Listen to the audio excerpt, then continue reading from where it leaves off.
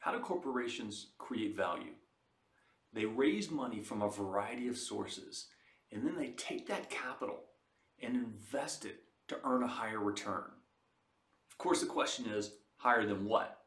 You can answer that by calculating the weighted average cost of capital, which basically looks at the cost of the various sources of capital and weights them by their percentage use of the corporation. How do we actually get these numbers? Well, you've got to compute the weights. So let's take a look at some examples to figure out how we get the weights for the weighted average cost of capital. Let's examine the capital structure of a company using Capital IQ. I opened up a web browser and navigated to capitaliq.com. Let's next pull up a company. I'm going to go to the search bar here and I'm going to type in the ticker symbol for the GAP. It trades on the New York Stock Exchange using a ticker symbol of GPS. And here it is right here. As most everyone knows, this is an apparel retail company. They have a number of different brands. They operate uh, using Old Navy, of course the Gap. They also have Banana Republic and Athleta as well. What is the capital structure of this company? Well, the good thing here is that on the left-hand side, we've got a number of different tabs we can click on. We can click on capitalization. We can get a summary of the capital structure as well as look at the details of the capital structure. Now remember the formula for the weighted average cost of capital. When we're examining the weighted average cost of capital, it is basically going to look at the percentage use of a particular provider of capital, like equity or like debt, and it's going to multiply that times the cost of that particular source of debt or source of capital. So let's take a look at the basic capitalization of the gap. What this does is it computes the enterprise value. And the enterprise value takes into account the market capitalization of the stock, subtracts out the cash and short-term investments, then adds to it the total debt, the preferred stock, and any minority interest there. You can actually click on some of these and get definitions, like if you want to find out more about the minority interest and how it's done, it'll show you the, uh, the formula for it. But let's focus on the situation for GAP. GAP has a very simple uh, capital structure. As of November 3rd, 2018, they had 10,409 million in outstanding stock. I'm going to click on this number and show you where it comes from. This is the market cap of the common stock. And the way they're getting this is they're taking the closing share price on November 30th, 2018. Gap traded for $27.29. And then they're multiplying it times the number of shares of common stock outstanding. They have 381 million shares outstanding. And that's uh, going to be right off of the financial statements released um, around this time. So it gives you a total market cap of $10.4 billion. So the great thing about Capital IQ is you can just drill down on any of these numbers in blue and see what the source of that data actually is.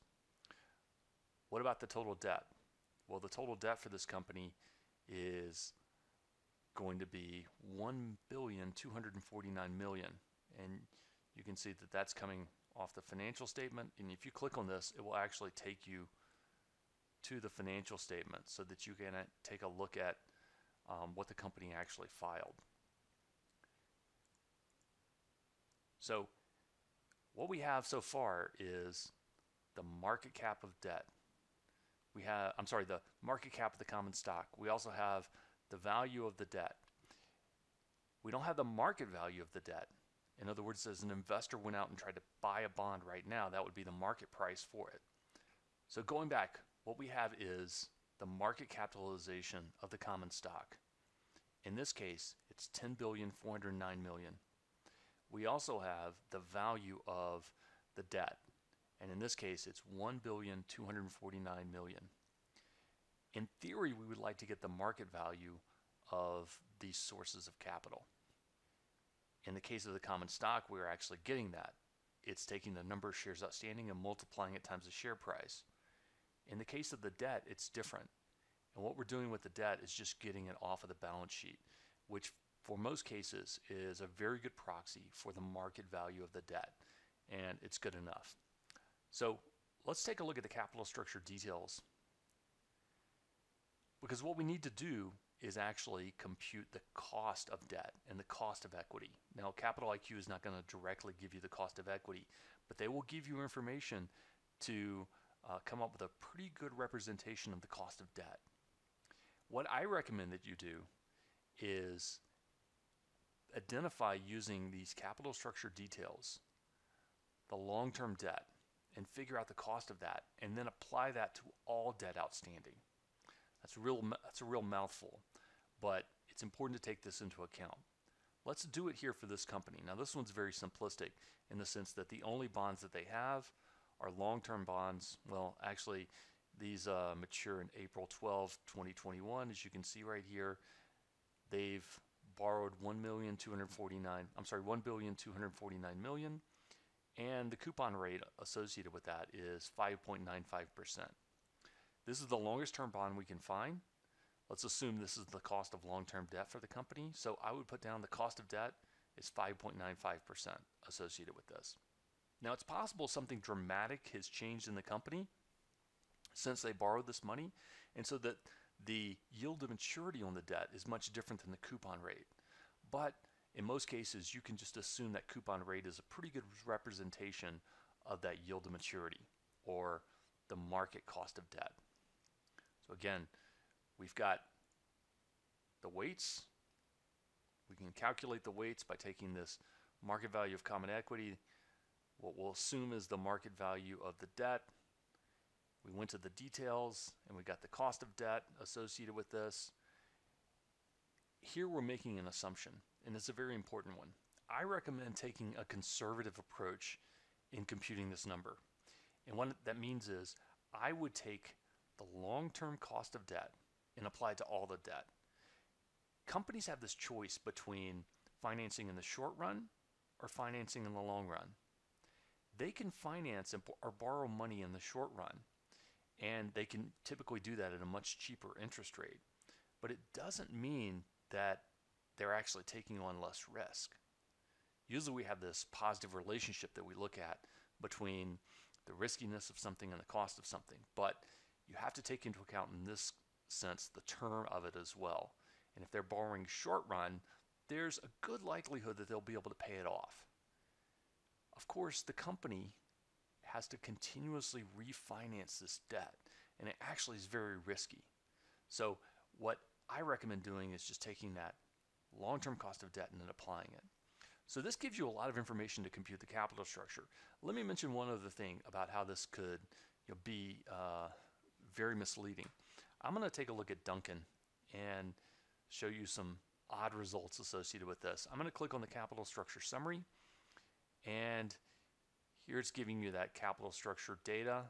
The odd thing is it's showing you that debt is 131.7% of the total and the common equity is a negative 31.7%, which seems really weird, right? Uh, why is this actually happening? Well, the reason why this is happening is because you've got a negative value for total common equity on the balance sheet. And that is mostly driven by the fact that retained earnings is actually negative. You're seeing this more and more with a lot of corporations these days because corporations have been buying back large amounts of stock. Um, the other reason why this can occur is that they can have accumulated losses or they can actually have spun off part of the company and that's affected the total common equity. A good example of that is Hewlett Packard. So there are a number of reasons why this can happen, but if you've got a book value of common equity that doesn't really reflect the market value, then accessing these these amounts off of this page, the summary page, it's going to be totally misleading. That's why what I recommend is that you go to this capital structure detail. I'm sorry, the uh, capitalization page, and you can see that even though that total total equity on the balance sheet may be negative for Dunkin', it actually has a market cap of six billion because the share price is recently $73.72 and uh, they had 82 million shares outstanding. So that gives you this common uh, stock market cap that's six billion, even though on the balance sheet it's negative because of a number of just you know odd issues associated with the company. So go to this capitalization to get uh, these values and you know be skeptical of this thing under the capital structure summary because it's giving you book values and book book values can be misleading. So I hope that help that helps you get the weights and the cost of debt in order to compute the weighted average cost of capital for your company.